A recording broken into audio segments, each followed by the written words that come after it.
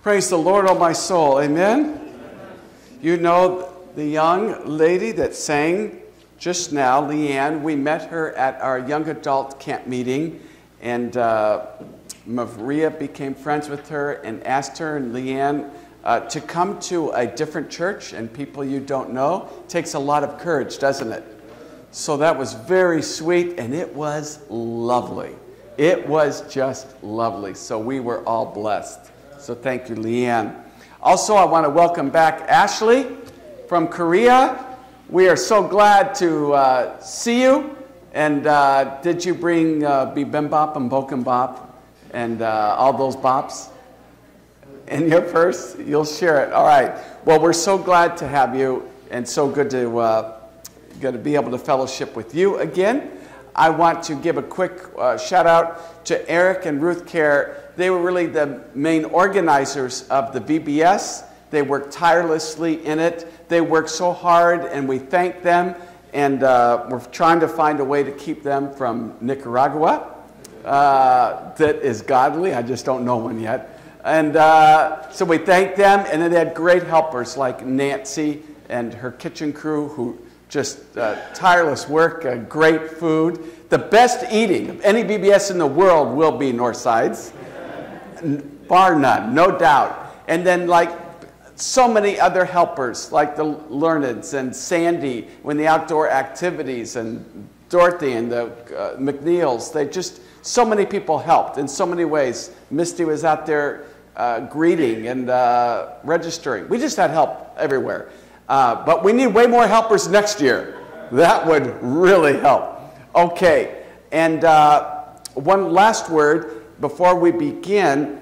Uh, Holland begins its county fair booth August 3, and we uh, would love people just to sit at our booth and uh, when someone wants some literature or something, we can give them. We've ordered some great stuff to pass out. It's not a hard sell. People come to the booth and they want the stuff. So it's not like you're forcing it on them. Uh, and, but we need people there to give it to them. So if you could ever join us for that, you want to participate, let me know. All right. Please turn to Psalm 117.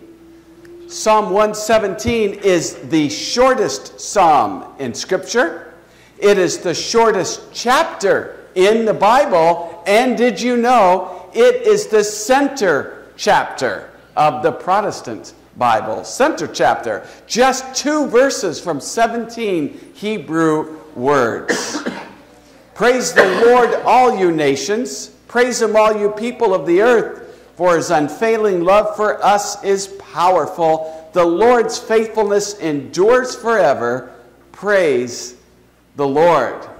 Now, this psalm is part of six psalms known as the Egyptian Hallel. Does anyone know? That doesn't sound very Christian, does it? If you're not, you know, Egyptian Hallel.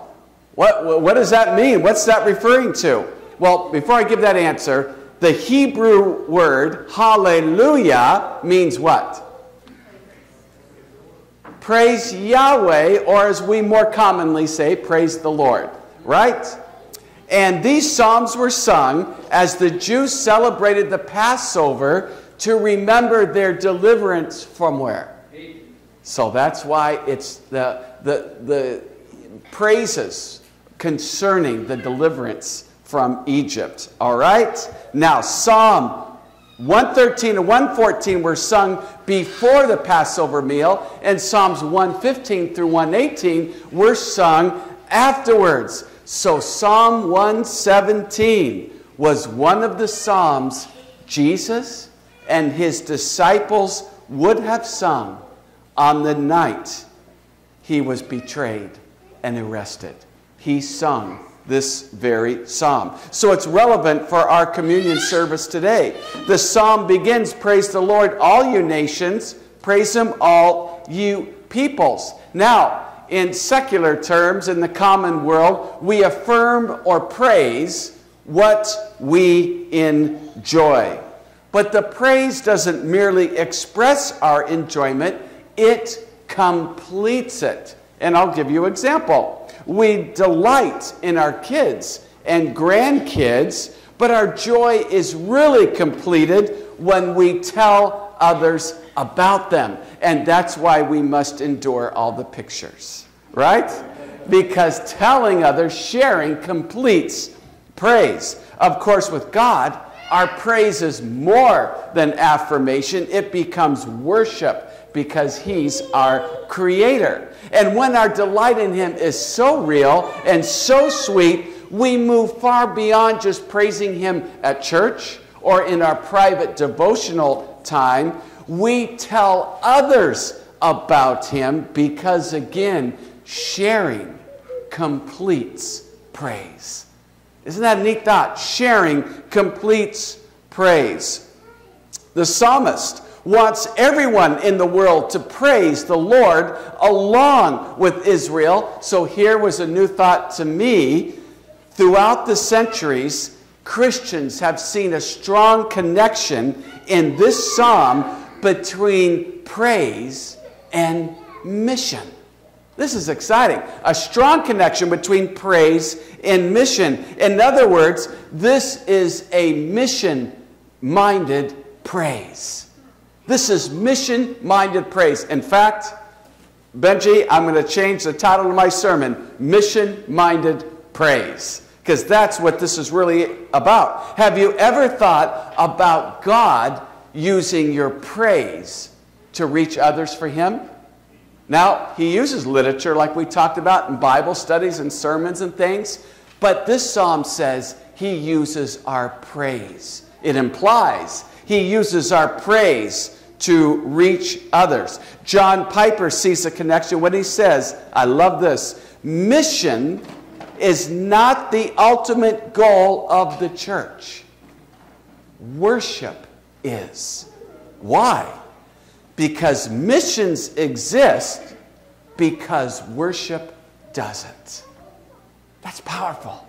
Did you get that? Mission exists because worship doesn't. In other words, mission is necessary because there are people who aren't worshiping the one true God who's worthy of our praise. Do you get that now? Amen. All right? I'm going to say it one more time. Mission is necessary because there are people who aren't worshiping the one true God who's worthy of our praise. The psalmist implies then our praise is how we do mission. When unreached people see how much we value and delight in God, many desire Him for themselves. And let me tell you, there are Christians in this world who literally give everything they have. Everything for this mission minded praise. A perfect example of this are the believers in Peshawar, Pakistan. 2013, they were attacked by two Muslim suicide bombers who entered their church service and detonated explosives, killing 127 people, wounding 250 others. The day after the bombing, the members came back to gather the shoes of the children murdered so they could be used by others in the community who had murdered their families. And as they washed the walls of the blood, the secular report said the walls of agony pierced the silence of the indifferent neighborhood around them. But after the walls were clean and after they rearranged their pews, they sat down and began to sing songs of praise to God. They praised God. Why? Because they remembered the charter their church had established over 100 years before. The charter, which said, We exist to be a witness for Christ in a major is Islamic city. Were they faithful to that charter? Absolutely. They were truly committed, so they praised him for his unfailing love and faithfulness. Why? To show their delight in the Lord was more than enough to overcome the greatest sorrows of life, and by their expression of praise, to demonstrate to others that they know a God who's worth giving your whole life to and trusting through anything. And though this mission minded praise was difficult to demonstrate in those circumstances, did you know the Jews had a hard time themselves with the implications of this psalm? It challenged them to the core. The psalmist invites all peoples to join Israel in praising their God. But there was a problem with that. Who were the nations to Israel? They were the Goyim, otherwise known as the what? The Gentiles. The non treasured, non chosen outsiders whom Israel saw as their what? As their enemies. And, and you want, God, you want our enemies to join us in praising you? You want us to be together? And the psalmist challenges them even further by saying, Praise him, all you peoples. The psalmist is saying, Israel, you have a mission. Yahweh is not only Lord of all the nations, He's also the God of all the ethnicities, tribes, races, and backgrounds inside those nations. So, in fact, that's why I chose you. It's your job. Your job to take my love to them so they can one day be full of the very joy and delight that causes you to praise me like you do. Well, they were slow to catch on because even in the New Testament, the Christian Jews began to get upset, saying, What are these Gentiles doing coming into our church? Can you imagine if we, we said, What are you converted people doing here in our church? well, who told you you can come in here all converted like that? Wow, that would be terrible. Well, what did Paul say in Romans 15? He quotes from this psalm and he says, Look, it was the purpose of God from the beginning to have all nations give him praise. That's what this whole thing was all about. By the way, I'd love to slip these things in when I can, just in case you're wondering where we stand. Joshua Project says there are over 16,000 different people groups in the world, and close to 7,000 of them are still unreached. Is that accurate? That's what it said. That's 41% of the world's population, or close to 3 billion, who still aren't praising the God of salvation. All right? But I'm going to challenge you today because I was challenged by preparing this message. I'm challenged by this mission minded message, this psalm, in an even deeper way. Just as the psalmist urges us to love the outsiders, is it possible for God's chosen people today to be no better than the Israelites of old? What do we mean? Well, like the Israelites, can we be, are we more concerned about preserving our identity and traditions than we are about reaching others outside of our zone of safety? Do we feel that Christianity is more of a fortress that we love to hide in and only come out to gather together once a week? Or are we willing to break free of that fortress and, and reach others throughout the community or the world? I'll take a risk and go one step further. Is it also possible to be so insulated, so narrowly focused, that we're even tempted to look at some within the church as Gentiles, as outsiders. Is that possible? How can that be? Well, we can look at others within our own fellowship as Gentiles, as outside the faith when they don't align with our perspective, our viewpoint, and my own traditions you see the danger of viewing some members as outsiders is that it makes it easier to treat them as who are the outsiders to the Jews? They were the, their enemy. You see, when you're, my, when you're an outsider to what uh, I believe, you could be my enemy. And then we start labeling when we negatively label someone as liberal or conservative, we've cast them as outside of what, uh, outside of my view. And you know the problem with that? As I've told you before, I, along with all of you, think I'm right. I, along with all of you, think I'm the one balanced person in the church. And if everyone believed like me, we'd have no problems. So when I label you, oh, what? That's what you believe? You mean you're not on this side of this position or that side of that position? Then you become an outsider to me. And I may be liberal, or I may be conservative, or in your mind, I, I don't know, or even in my own mind. But once I label you, once I say you're not like me, then you are an outsider. And I'll tell you the real danger of that. The real danger of that is that when I turn fellow members into a category, when I label them with, the, with a little box like liberal or conservative, I turn them into something a little less than human. Now you're just a category. Now you're just a label.